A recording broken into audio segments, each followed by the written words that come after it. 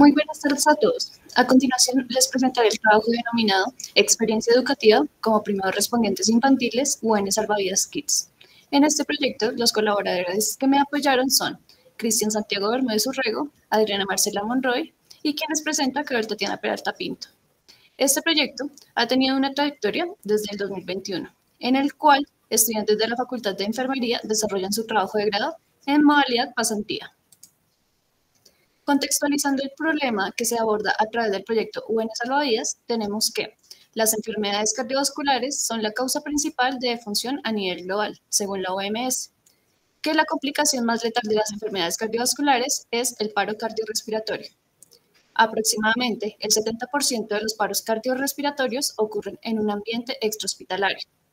Y por cada minuto que una persona no recibe RCP de alta calidad, este pierde un 10% de, sobrevivencia.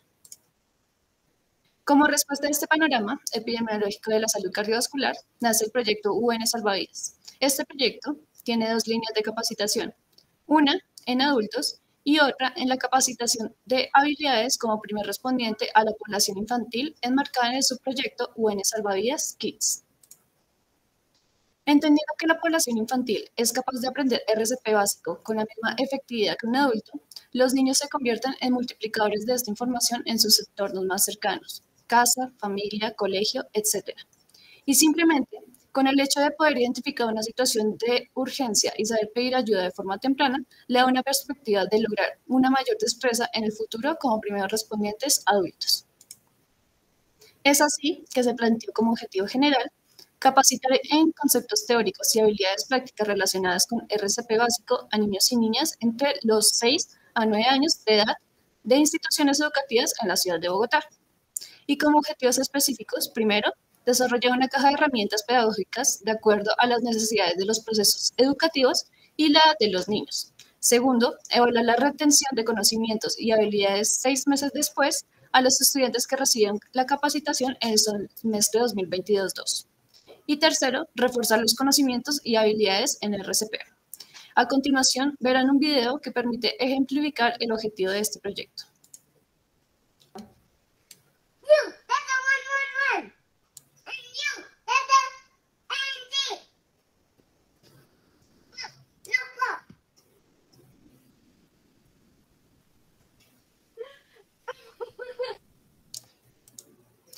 Para dar respuesta al objetivo general de capacitar a los niños se desarrolla la siguiente metodología. Dos sesiones educativas. La primera sesión enfocada en aprender aspectos teóricos claves de prevención y cadena de respuesta ante un paro cardiorrespiratorio. La segunda sesión teórico-práctica enfocada en aprender habilidades de forma lúdica y didáctica, los pasos de la cadena de respuesta para finalmente realizar una evaluación individual de las habilidades aprendidas sobre RCP. Para el cumplimiento de los objetivos se construyeron los siguientes insumos en la caja de herramientas.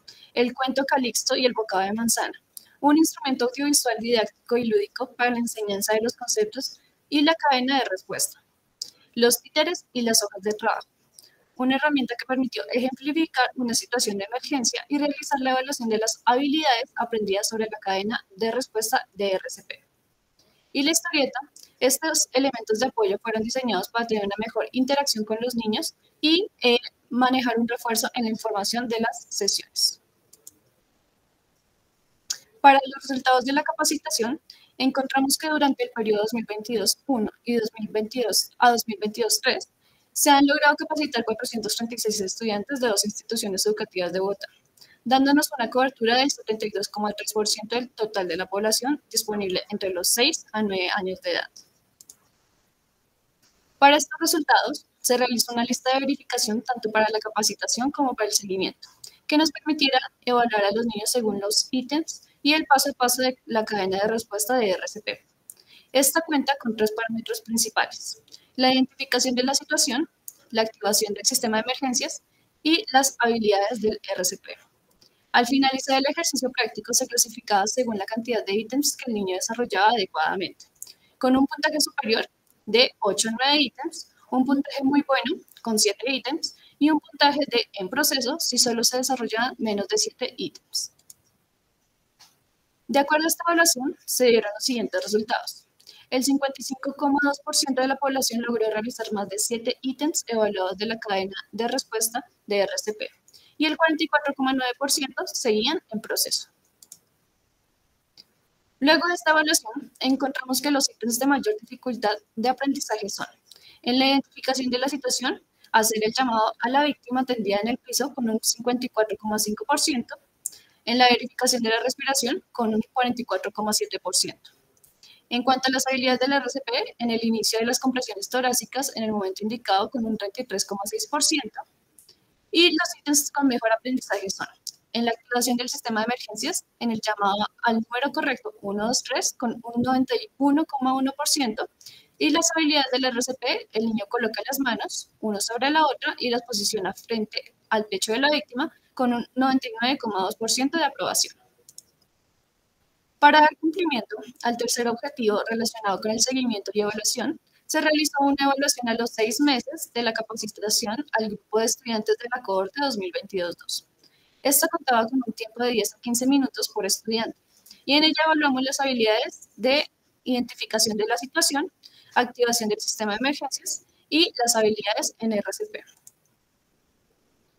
Para el cumplimiento del tercer objetivo, relacionado con el seguimiento y la evaluación, se realizó una evaluación a los seis meses de la capacitación. En ella se realizó una evaluación a 96 estudiantes capacitados en el periodo académico 2022-2, que equivale al 73,28%. Teniendo en cuenta la comparación de los resultados globales de los estudiantes capacitados en 2022-2 y el seguimiento de los estudiantes en el 2023-1, encontramos que el 21,2% de la población conservó el aprendizaje de más de 7 ítems evaluados, seis meses después de la capacitación.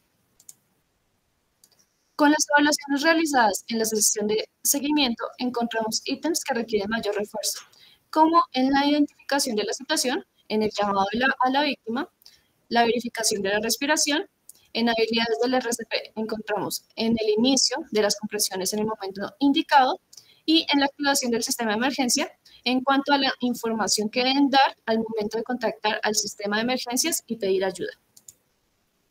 Para finalizar, quiero destacar las siguientes conclusiones.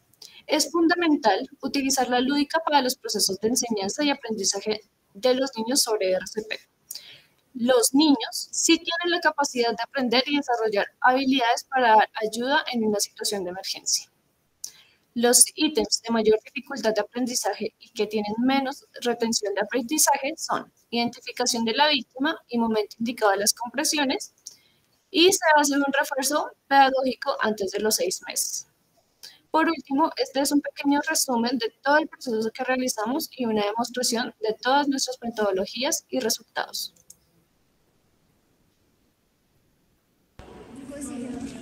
Paco. No te responde. Listo, no, no, no está respirando.